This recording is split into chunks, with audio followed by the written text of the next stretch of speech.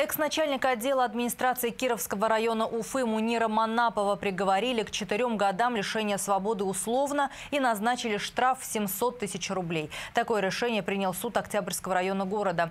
Бывшего чиновника признали виновным в мошенничестве в особо крупном размере и служебном подлоге. И вот по материалам дела в 2014 году он с помощью печатной машинки и оттиска печати муниципалитета подделал распоряжение о предоставлении своим родственникам и знакомым семи земельных участков в деревнях Атаевка, Локотки и Искина.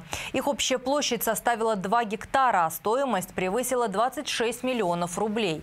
Специалист управления Росреестра Республики усомнился в подлинности документов и направил запросы в администрацию Кировского района Уфы. Чтобы избежать разоблачения, подсудимый сам подготовил ответ на запрос и заверил его у руководства.